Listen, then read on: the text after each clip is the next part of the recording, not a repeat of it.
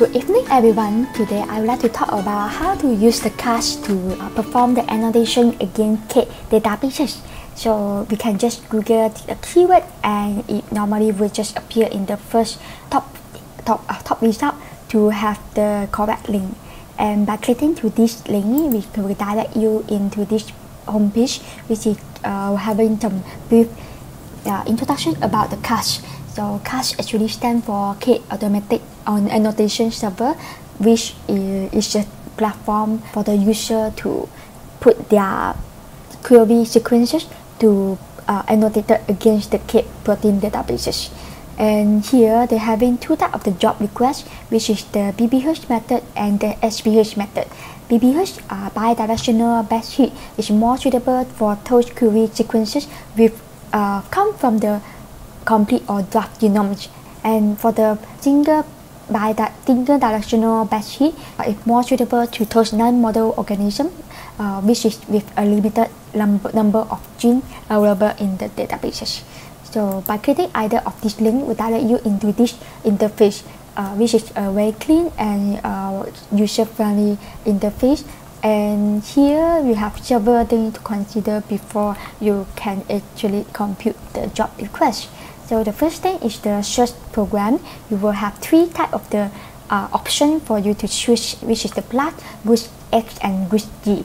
So uh, among these three, um, the BLAST is the most accurate search program, while the GOOS X and GOOS G uh, are more uh, efficient and more faster in computing compared to the BLAST. So it's depending on your purpose to choose uh, to whether you want to choose the BLAST or you want to choose the other two program.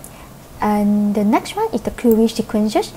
So it must be in the FASTA format. So here I have one example of the FASTA format which is having the name uh, like let's say the transcript and also followed by the sequence um, that corresponding to the name. So this is the amino acid sequence, but you can also put nucleotide sequence by click, taking uh, the here or uh, if let's say you don't want to put into column, you can also choose to upload the file, uh, such as I will upload the peptide file here. So the next one is the query name. You can put whatever name uh, for your convenience. And the email address is the most important one uh, because uh, eventually uh, after the job have done and have been accepted, they will send you the email. So the name uh, must be uh, correct. So you will, won't be like wasting uh, the uh, the job query. So as what I type here, this is breakfast for living, uh, and also uh, it's also the email uh, for our breakfast channel. So if let's say you have any query, inquiry or any um, comment, you could actually uh, Kate actually KAAS actually annotate against the whole whole set of the data in the KAAS.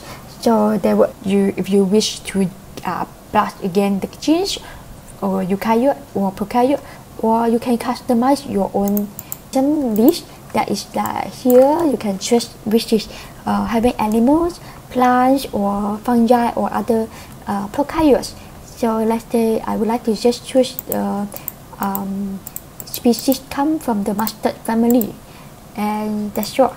And here after you select the organism uh, they will show us also the number of sequence in selected organism.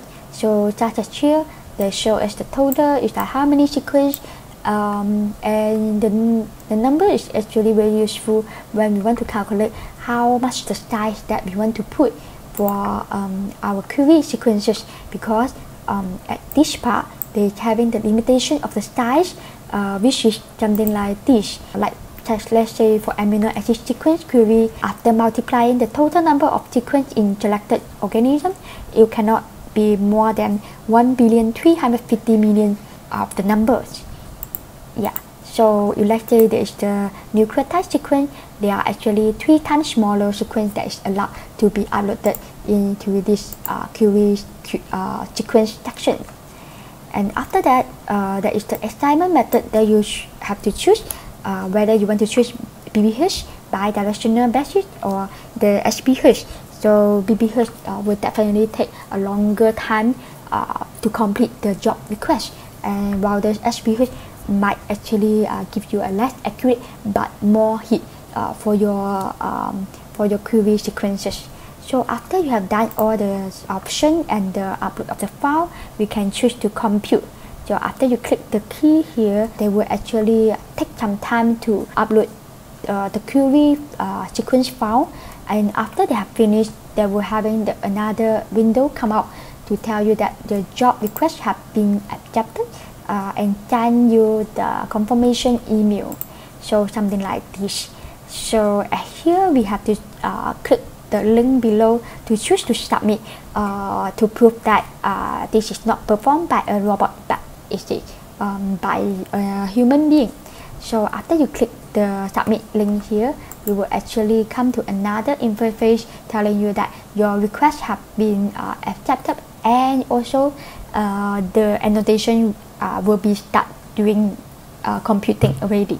So uh, the normally the computing period uh, duration would um, count from 12 to 24 hours and after they complete their job uh, request they will just uh, email you again to notify you and you can actually uh, go to see for the result um, so I and here uh, actually they're also having the information in the help section here which is inside having quite detailed information about the query and about the example of result.